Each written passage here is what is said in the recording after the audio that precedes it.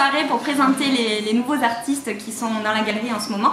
Donc euh, on a euh, Céline de la Chapelle qui nous fait des sculptures magnifiques en fil de fer qui sont très aériennes avec beaucoup de, de, volume et de couleurs. Donc c'est vraiment très très joli et c'est très léger.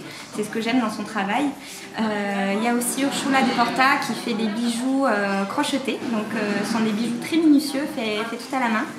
Euh, il y a également Evan De Souza qui est un photographe de la région et il y a aussi ben, évidemment euh, mes créations vu que ici c'est un atelier et une galerie donc je présente aussi mon travail. En fonction de mes rencontres, de mes coups de cœur, des, gens euh, avec qui j'ai des affinités au niveau de leur travail ou de leur personnalité, en fonction de, ces rencontres-là, j'organise des événements. Ça peut être vraiment une fois par mois ou tous les trois mois, vraiment en fonction des rencontres. Venir découvrir, faut voir parce que c'est très coloré, c'est très vivant et puis on sera ravis de leur expliquer notre travail et de passer un moment avec eux.